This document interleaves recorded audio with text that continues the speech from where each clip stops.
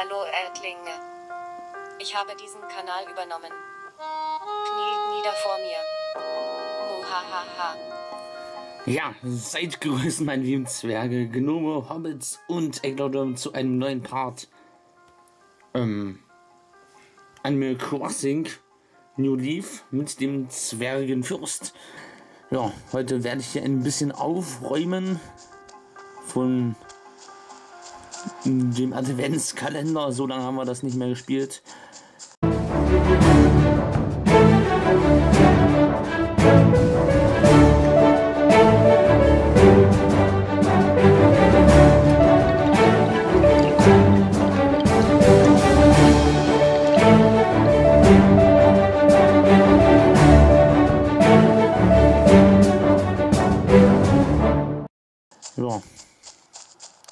Privat nicht. Wow, es sind viele neue Früchte gewachsen.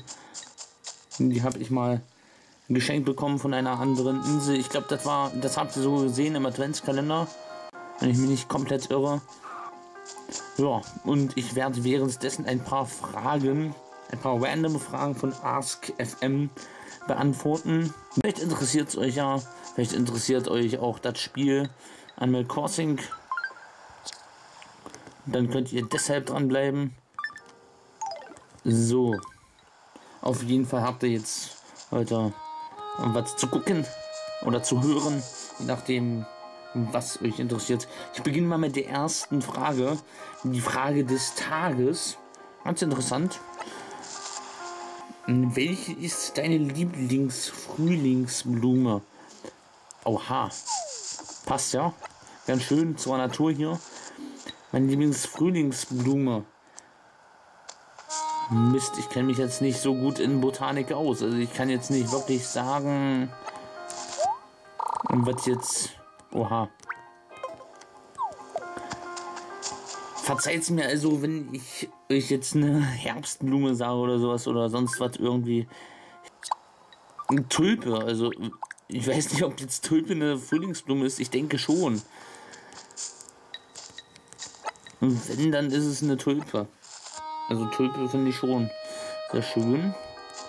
Hübsch. Rose mag ich eigentlich nicht so sehr. Also Tulpe ist eigentlich mein Favorit von allen Blumen sowieso. Auch wenn es ein Spätblüher, ein Sommerblüher oder sowas ist. Ja, ist, ich bin nicht so Natur. Freak. Der was wirst du niemals wieder tun? Oh, schwer zu sagen. Ähm, es gibt eigentlich vieles, was ich gerne wieder tun würde. Es gibt eigentlich nichts, was ich nie wieder tun würde. Ähm, die Sommertour 2016, die werde ich in dieser Weise nicht wieder machen. Das war chaotisch und absolut sinnfrei. Vielleicht werde ich es dieses Jahr auch wieder machen, aber nicht in dieser Art und Weise. In einer anderen vielleicht, auch in einer etwas leichteren Variante. Also das zu der Frage. Ansonsten wüsste ich nichts. So, ich sammle hier ein paar Äpfel ein, während ich die nächste Frage beantworte. Träumst du manchmal davon, bei einer Lotterie zu gewinnen? Was würdest du tun mit einer Million? Oha. Die Fragen übertreffen sich aneinander.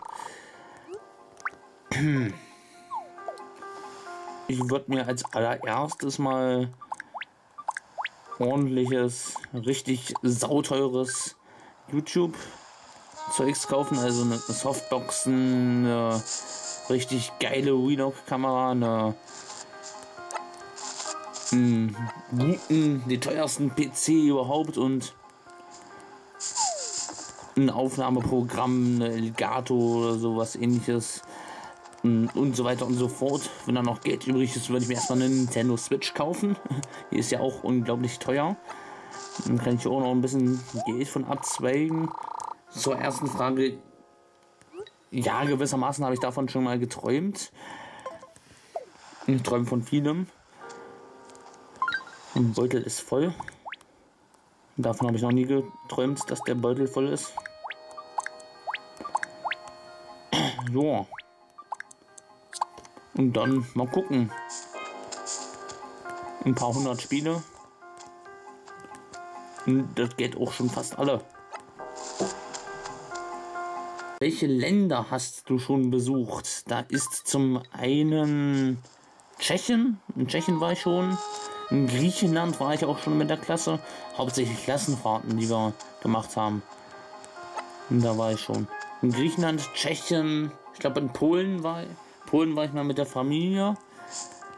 In Litauen war ich gern, äh, bin ich immer gern in Urlaub gefahren mit der Familie. In Holland war ich auch schon, in Niederlanden. Oh, das war's so. Und in Deutschland halt. Tschechien, Griechenland, Niederlande,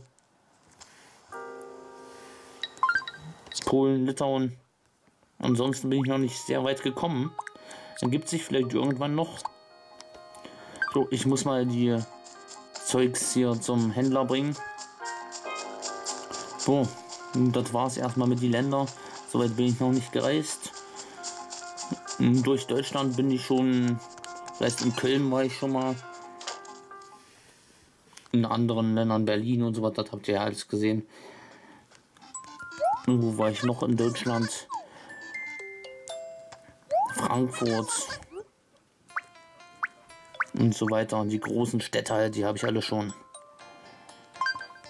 halbwegs gesehen, mal durchfliegen.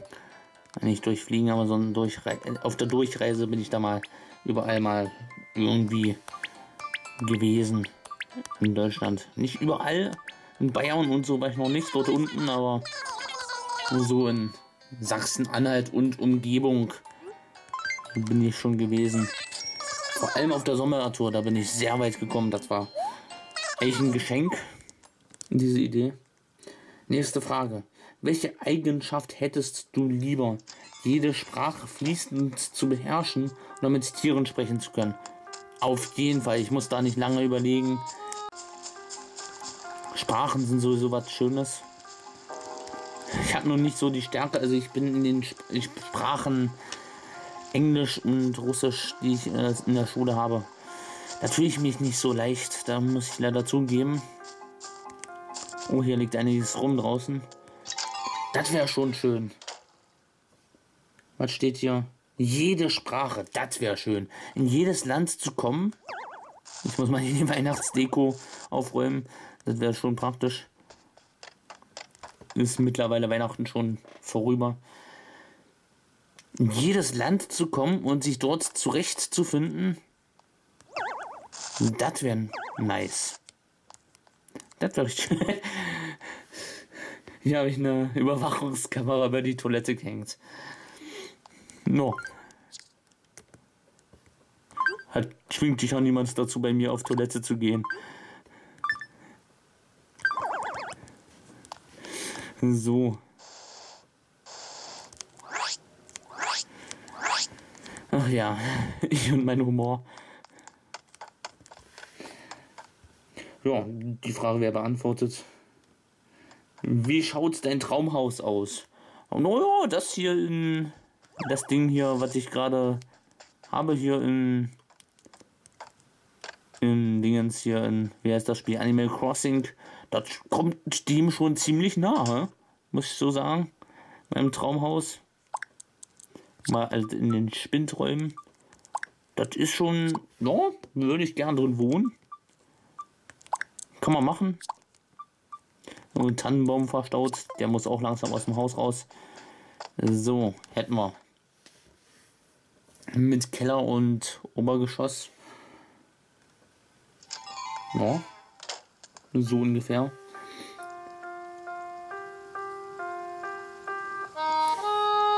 Was stört dich am meisten an einem engen Freund? Welche Freunde? Nee, Spaß. Ich meine, die Freunde, die ich habe, oh, stört mich eigentlich relativ wenig. Ich meine, so wählerisch wie ich bin, die Leute, mit denen ich zurechtkomme, mit denen ich mich beschäftige, ja, die sind auch ganz in Ordnung. Da gibt es jetzt nichts dran zu mäkeln. Also die Leute, an denen ich was zu mäkeln hätte, die sind halt nicht meine Freunde. Die haben auch an mir was zu ekeln, wenn ihr es versteht. Wenn ihr versteht, was ich meine. So läuft das halt bei mir. Wirst du dir irgendwann einmal ein Piercing machen lassen? Wenn ja, wo? Ganz klare Antwort, nein. Nein, nein, nein, absolut nein. Ich werde mir kein Piercing machen. Warum stehen hier noch Tannenbäume? Bin ich einfach strikt dagegen. Halte ich nicht sehr viel davon. Es gefällt mir nicht sehr. So, der Club ist noch leer, ist noch nicht spät genug. Hm, zur Rockparty. Ja. Halte ich nicht für angebracht, ein Piercing machen zu lassen. Ich habe keins, werde auch in Zukunft mir keins machen lassen. Ah, kommen wir zur nächsten Frage. Welches Buch sollte man deiner Meinung nach unbedingt gelesen haben? Herr der Ringe. Unbedingt. Herr der Ringe, alle drei Bücher. Kann ich als Zwergenfürst nur empfehlen. Und dann der Hobbit. Ansonsten Tribut von Panem sind auch gute Bücher. Kann man gut vergleichen mit dem Film. Mit den Filmen. Ja, Buch, Bücher, die schon verfilmt wurden, die sind eigentlich immer sehr empfehlenswert zu lesen. Oh, eine VR-Brille. Cyberhelm, okay. Wir kommen bald wieder.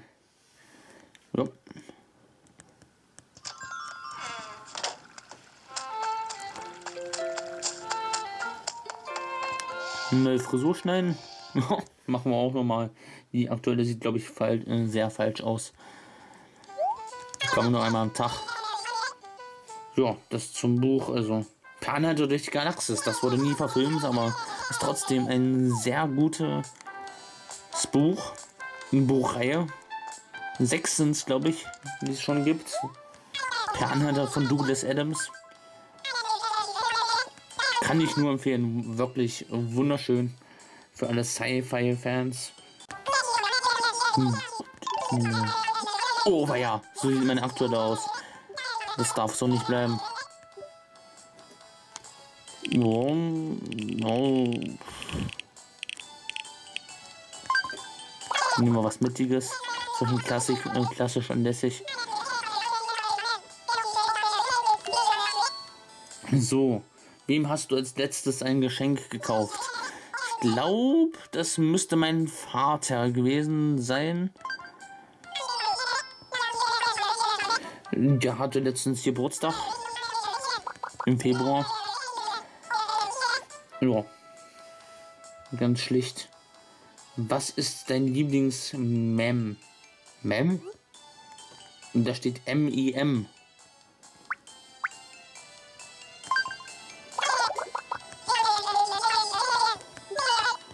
Okay.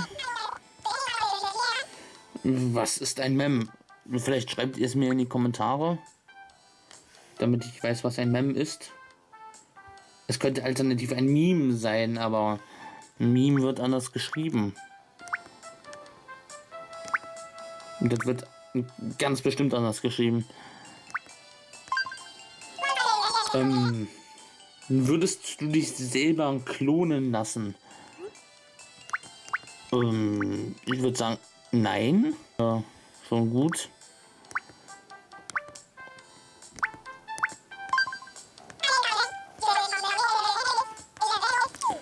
So, jetzt werde ich gestylt. Mal gucken, was rauskommt. Ich hab, weiß nicht, was ich geklickt habe. Wird auf jeden Fall komisch. Ach du Scheiße. Was ist denn da passiert? Alter Schwede. Worauf freust du dich auf morgen? Auf die Herauskommen, auf das Herauskommen dieses Videos? Keine Ahnung.